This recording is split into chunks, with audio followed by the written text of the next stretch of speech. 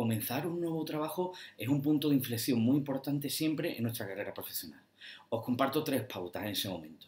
La primera mimar y preparar una reunión con nuestros jefes o responsables para saber qué se espera de nosotros, qué tenemos que aprender, cuáles son las prioridades de aquí y ahora, de, más allá de solo conocer nuestro trabajo, sino saber qué es lo que se tiene que cumplir y cuáles son las prioridades en ese momento del y de nuestra, eh, nuestro cargo que tenemos que cumplir de la mejor forma posible.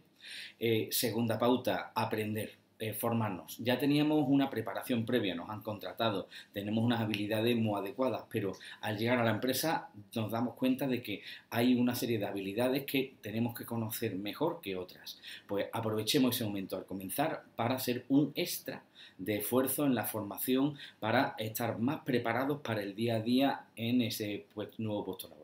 Y tercero, es muy importante echar muchas horas, estar eh, muy presente eh, dando eh, todo el esfuerzo al comenzar un nuevo trabajo, pero os recomiendo que es muy importante ir a la cafetería, es muy importante estar con los compañeros, almorzar con ellos, no, no nos escapemos de socializar para solo trabajar porque no sería conveniente. Es bueno que conozcamos las dinámicas de trabajo dentro de la empresa, cómo se reparten los grupos, cómo funciona la dinámica entre los compañeros, con lo cual socializar, ir a la cafetería, almorzar con los compañeros es muy importante. Con lo cual, espero que estas tres pautas al comenzar un nuevo puesto laboral os resulten muy interesantes. Y por cierto, nos vemos en el próximo vídeo.